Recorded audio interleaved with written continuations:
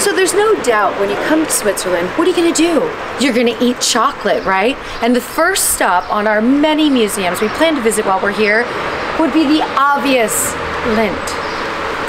Home of chocolate. Let's see what they give us when we're inside. Here we are getting ready to go inside. This is so beautiful and the ride over was spectacular. Let's go have some chocolate and see what we can do in here.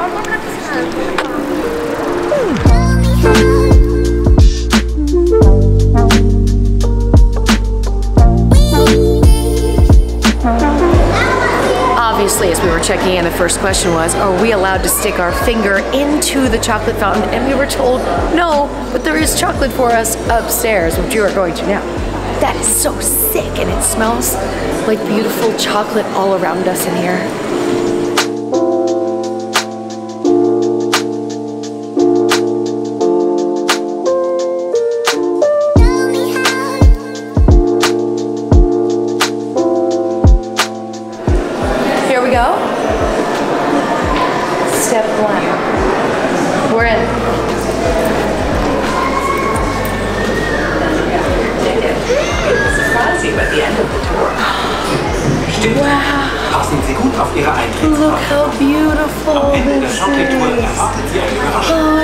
So much. Enjoy the chocolate. Cocoa cultivation. All chocolate starts out with the cocoa tree. Its beans are the most important raw materials of this delicious treat. The tree thrives around the equator.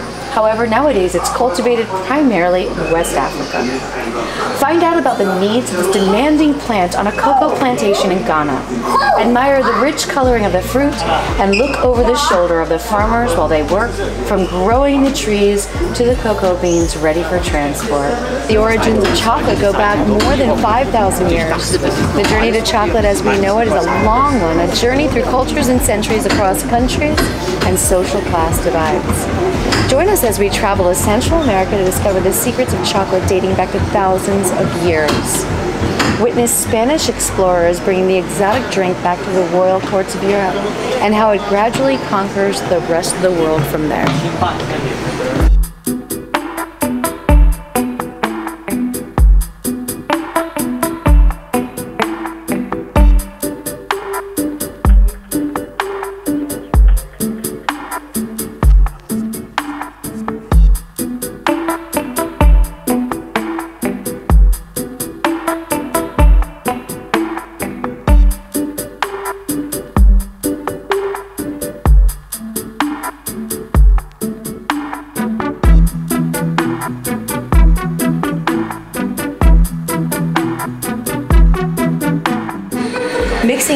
Chocolate with condensed milk leads to the invention of milk chocolate.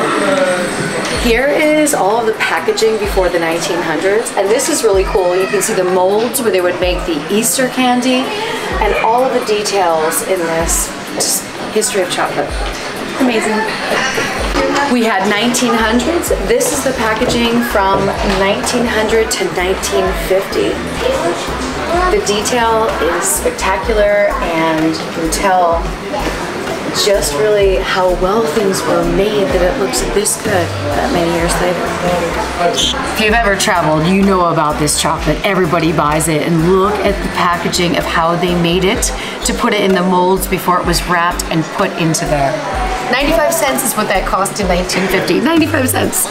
Now we're looking at 1980 to today, and you can see the difference. We've now gone to plastic. We know that plastic is not good for the environment. We know we made that switch. Everything before you saw was in the tin and in the metal, and now you see the current. And to remember that only 3% of plastic is actually recyclable. The opportunity has finally presented itself.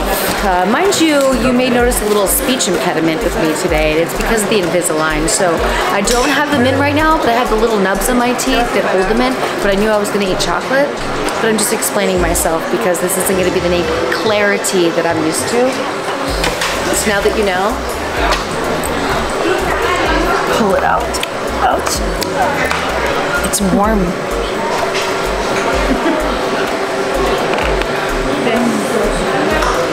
that was dreamy. Ooh, that was good.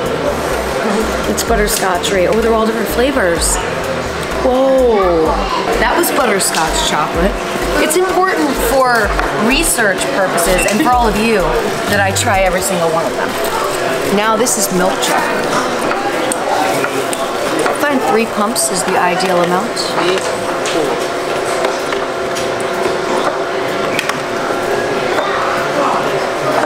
Oh, it's so smooth. It's so good. Last but not least is going to be the attempted three pumps of the white chocolate. It would be nice to make a spoon of all three and do yourself like a twist. Here we go. Mm. Delight. Just a delight.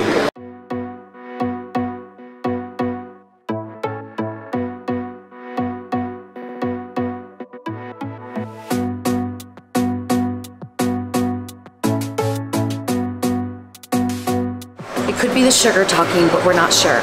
We're very thrown by what's taking place because if you think about how this looks from here and then to there, it would almost have to be looping upside down and all the way back to recycle because they're not reversing. But let me explain to you what we're talking about. These start out as beautiful little nuggets right here of the center filling. Walk over here, it gets a little coating on it. Then over here, it's got white chocolate on top. Then over here, it's stripped with caramel. Now a beautifully placed nut. Again, we're getting these roasted right here. They come out through here, they stop, but there's no traffic jam. They're not laying on top of each other. Where are they going? Is this going underneath here? Can we see under the cabinet? We're too curious to not have an answer to this. This is bizarre. The continuation. Uh, we've resolved this. We looked under very closely, something that no one else that's walked through here has cared about one bit. They loop underneath and then they keep recycling. So they're glued onto there. Of course, these are not what we're going to be eating in a moment because I'm sure we're going to get some of these. But now we have an answer. We're a lot less confused and we feel better about some sort of a solution to share with you. Because obviously you were concerned, as we were, that these chocolates may be going into trash and we would like to eat them. I mean, if life was really like this, you could just put your hand underneath something and voila. Oh, I missed that one. Didn't, didn't catch it. Mm. Hazelnuts, cinnamon, almond, pepper, and strawberry. Switzerland, home of chocolate. 1819 is a pivotal year. Francis Louis Cailler says of the first chocolate factory in Switzerland's Vevey. The country quickly develops into the home of numerous chocolate makers. Increasing quantities of chocolate are being produced. More and more companies follow this development over more than 200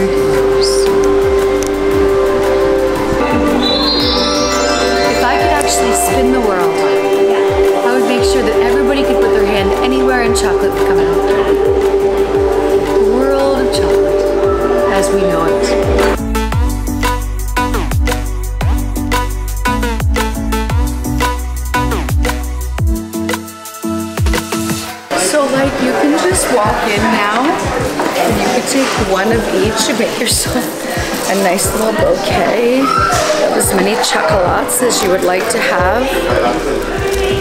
Can I ask, do you guys just get sick of eating the chocolate? No? Just all day, every day? I every day eat chocolate. so when we watched her fill this, she put a piece of something right in front of here so she could fill this bin completely and they wouldn't fly out and then she lifted it up and our hands were free to go in there again the fabulous chocolate journey it was. And here we are, back out in this bright white escape at the beginning of it all. We just had a lovely gentleman walk up to us and say, would you like some chocolate? And I said to him, obviously. So now we have more chocolate in our pocket. It's pockets chocolate. we're balling up in here, okay? Was currency, we'd be. Look at those beaters. All the different shapes they make for the holidays. And we're also that person that asks everybody that works here if they still eat chocolate, and they all giggle and smile. I think they're trained to say yes, right? But they're obviously sick of it. I got pockets full of chocolate right here. I learned a lot about the goodness that is Lindt chocolate. Have a little bit of a sugar buzz going. Step one in the Switzerland activities. Knocked off the bucket list.